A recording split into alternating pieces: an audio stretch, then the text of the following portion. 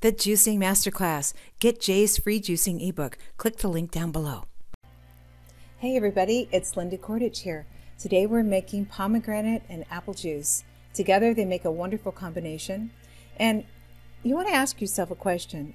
Why would we want to juice a pomegranate? And can you tell that we're also juicing with the skins? The reason why is because most fruit, most of the beneficial nutrients and enzymes lie right beneath the skin.